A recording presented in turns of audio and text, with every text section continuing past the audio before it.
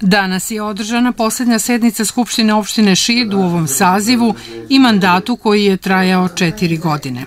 Kod rasprave o budžetu predsednik opštine Šid Zoran Semenović osvrnuo se na četiri godine koje su iza njih i koje su bile pune izazova i neplaniranih poteškoća od one sa koronom do elementarne nepogode, odnosno superćelijske oluje koja je zadesila našu opštinu prošle godine. Rekao je da će građani prepoznati šta je sve urađeno u prethodnom periodu i sigurno ponovo ukazati poverenje aktuelnoj vlasti na predstojećim izborima. Predsednik Semenović osvrnuo se i na budžet i financije i rekao da trenutno na opštinskom računu ima 102 miliona dinara i da opština nije zadužena ni sa jednim kreditom. Sve je plaćeno i uspostavljene su zdrave financije onima koji dođu. Projektovani budžet za ovu godinu iznosi 1 milijardu i 611 miliona dinara. 47.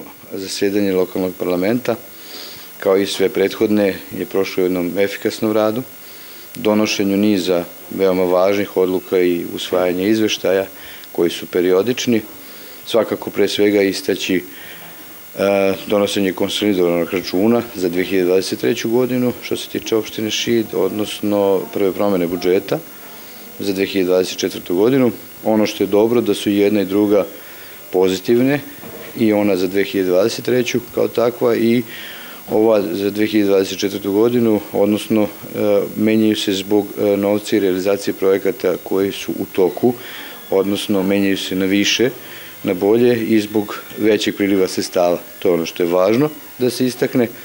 Takođe, periodični izveštaj javnih e, komunalnih preduzeća sa teritorije opštine Šid, koji su uobičajeni za ovo doba godine, su takođe usvojeni e, i možemo reći da je veoma važno da su njihovi izveštaji pokazali da realizacija programa koju je u decembru prošle godine u e, procentu 80% i više što je takođe nešto što ohrabruje, odnosno očekujemo da i u narednom periodu tokom godine on bude još bolji. S obzirom da je ovo bila poslednja sednica parlamenta u ovom sazivu i predsjednik Skupštine opštine Šid, Tihomir Stamenković, iskoristio je priliku i uputio reči zahvalnosti svim odbornicima i zaposlenima u stručnoj službi na dosadašnjoj dobroj saradnji.